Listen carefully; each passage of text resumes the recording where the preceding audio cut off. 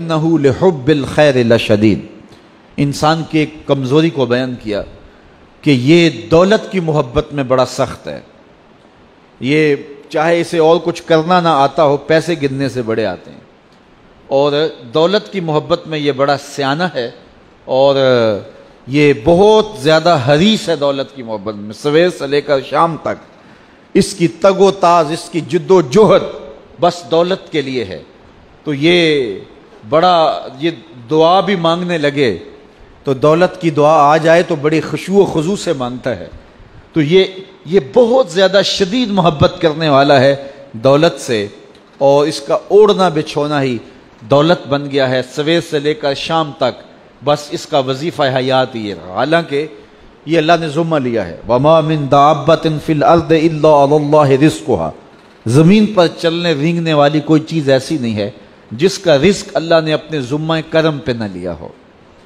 وہ تو جانوروں کو بھی رزق دیتا ہے۔ شکم مادر میں جب بچہ ہوتا ہے ایک سو بیس دن کا، تو فرشتہ آ کے اس کی عمر بھی لکھ جاتا ہے، اس کا رزق بھی لکھ جاتا ہے، اس کا شکی و سعید ہونا بھی لکھ جاتا ہے۔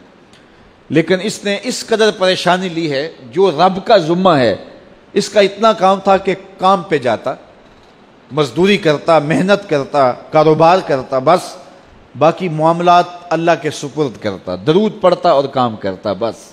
لیکن اس نے ساری ذمہ داریاں اپنے اوپر لے لی ہیں اور جو اس کا ذمہ تھا اس کو چھوڑ دیا۔ اور یہ سمجھتا ہے کہ میں بڑی بھرپور زندگی گزار رہا ہوں۔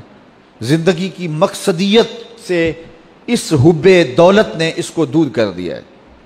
حب دولت نے اس کو ہٹا دیا کہ اس کے آنے کا مقصد کیا تھا۔ یہ دنیا میں آیا کس لیے ہے؟ من کانا فی حاض ہی آما فہوا فی الآخرت آما و عدل و سبیلا جو اس دنیا میں اندھا رہا، کل قیامت کے دن بھی نابینا اٹھایا جائے گا۔ اس سے ان آنکھوں کی بے نوری مراد نہیں ہے، اس سے دل کی بے نوری مراد ہے۔ تو جس نے آ کے دل سے آشنائی حاصل نہیں کی، من کا چراغاں ہی نہیں جس کو نصیب ہو سکا۔ مقصد حیات، زندگی کا شعور جسے نصیب نہیں ہو سکا۔ میں دنیا پہ آیا کیوں تھا؟ تو اس نے پھر پایا کیوں؟ رزق تو چونٹی بھی کما لیتی ہے۔ یہ اشرف المخلوقات کیسے ہے صبح اپنی بل سے نکلتی ہے، رزق حلال کماتی ہے، کسی کو ضرر نہیں دیتی۔ خود بھی کھاتی ہے، بچوں کو بھی کھلاتی ہے، موسم برسات کے لیے جمع بھی کر لیتی ہے۔ اگر یہی وظیفہ ایک انسان کا بھی ہو اور اس سے بڑھ کر کچھ بھی نہیں ہے، تو کیا فرق رہ گیا انسان میں اور ایک چونٹی میں؟ مقصد حیات کیا ہے اس کا؟ اکبر الہبادی مرحوم نے کہا تھا، کیا بتائیں؟ احباب کیا کار نمایاں کر گئے۔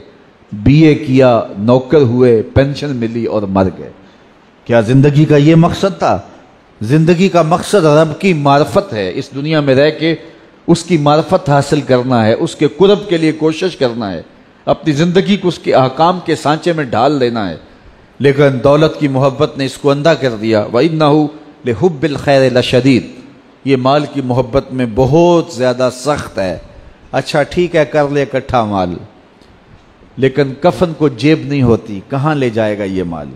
ساری دنیا پہ حکومت کرنے والا سکندر ذوال قرنین جب مرنے لگا تو اس نے وسیعت کی کہ میرے ہاتھ کفن سے باہر رکھنا۔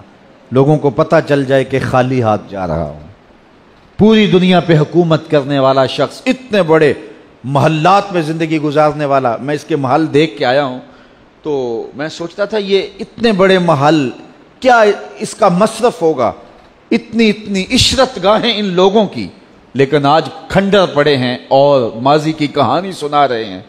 اور نمرود کے پائے تخت بابل کے اندر جو ہے وہ اس کے کھنڈرات، اس کی کہانی سنا رہے ہیں۔ اور اطالوی شہزادوں کی عشرت گاہیں ان کی کہانی سنا رہے ہیں۔ دنیا کے اوپر فرائین مصر کے محلات، ان کی جو ہے وہ درد کی کہانی سنا رہے ہیں۔ آج ان کا نشان بھی باقی نہیں ہے۔